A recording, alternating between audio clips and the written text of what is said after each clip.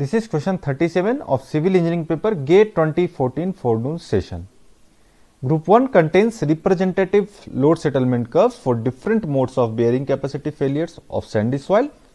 Group 2 enlists the various failure characteristics match the load settlement curves with the corresponding failure characteristics. So, group 1 P curve J, Q curve K, R curve L. In group 2, 1 no apparent heaving of soil around the footing, 2 Rankine's passive zone develops imperfectly, 3 well defined slip surface extend to ground surface. So, in this question a figure is given uh, given which is depicting few load versus settlement curves and uh, two groups are given group 1 and group 2. So, in group 1 uh, the uh, name of the curve and in group 2 the failure characteristics are given. We need to do the correct match between group 1 and group 2. So, this question is from the topic of uh, failure of soils. Uh, so, you may study about different modes of failures uh, soil and other related terms in detail by watching lecture 8 Foundation Engineering Introduction Geotechnical Engineering to Foundation Engineering by Professor Dilip Kumar Baidya IIT Kharagpur. So, when a footing is loaded, suppose when a this is a footing and when a footing is loaded, then a failure pattern is observed and uh, for that uh, if we uh, draw the load versus settlement curve, then we can get different types of curves depending upon the soil and the dimension of the foundation. So, uh, generally we study three types of failure general shear failure, uh, local shear failure and punching shear failure.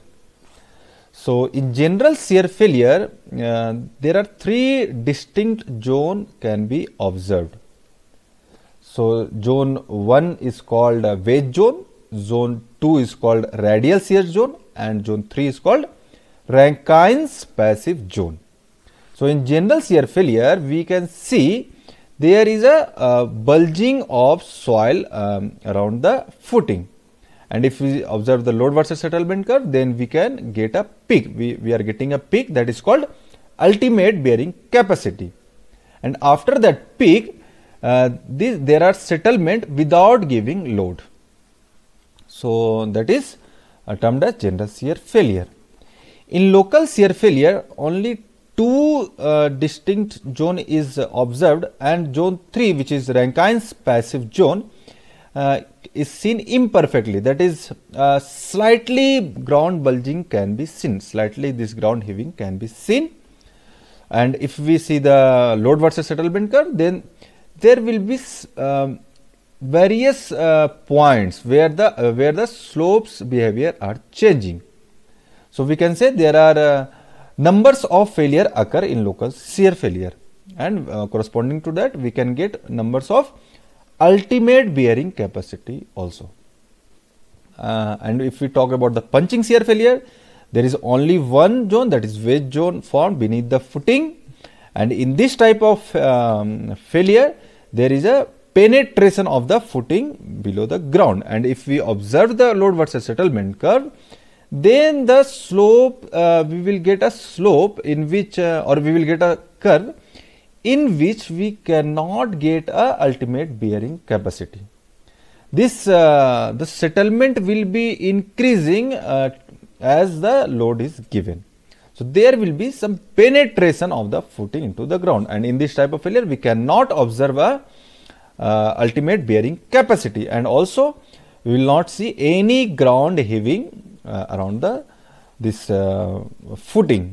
So, all these failure patterns depending upon the uh, this uh, types of soil and the uh, foundation dimensions.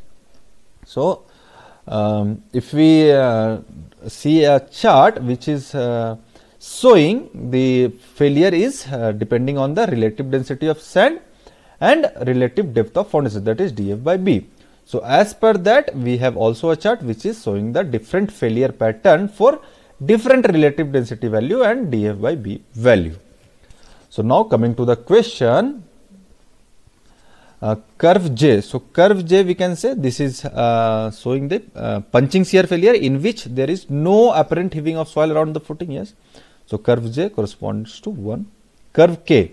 So, curve K is uh, type of uh, general shear failure in which we are getting a peak uh, which is showing the ultimate bearing capacity and after that the settlement is increasing without giving load. So, that is general shear failure and in this type of failure we, we, we, we will see there will be um, ground uh, bulging around the um, footing. So, curve K is well defined slip surface extend to the ground surface. Yes. So, curve K is 3 and curve L which is uh, giving uh, which is showing uh, or um, telling about the this local shear failure in which there are some various failure patterns and in that type of failure there will be slightly uh, ground bulging or we can say Rankine's passive zone develop imperfectly. So, curve L correspond to 2. So, now if we check the options, so P is 1, so P is 1 in given in option A and D, Q uh, 3, so Q3 is given in option uh, A only, so this will be incorrect and R 2. So, R2 is also given in option A. So, we can see the correct match is given in option A. So, option A will be the correct answer for this question. Thank you.